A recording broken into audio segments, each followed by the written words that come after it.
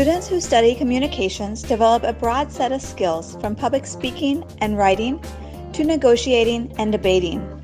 Communications contributes to our culture, the economy, and language, and it encompasses other disciplines such as sociology, psychology, economics, philosophy, etc. Looking into the future, communications majors will play a vital role in the evolution of new media platforms. This is a key reason studying communications in college is becoming ever more popular than before.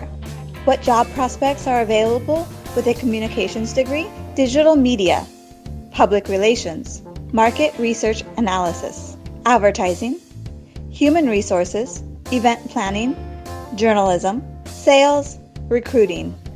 Students who major in communications have a spectacular range of lucrative positions available to choose from in media, the arts, marketing, public relations, journalism, and a variety of other industries around the globe. Want to find out more about GBSB Global's master degree in communications and future marketing?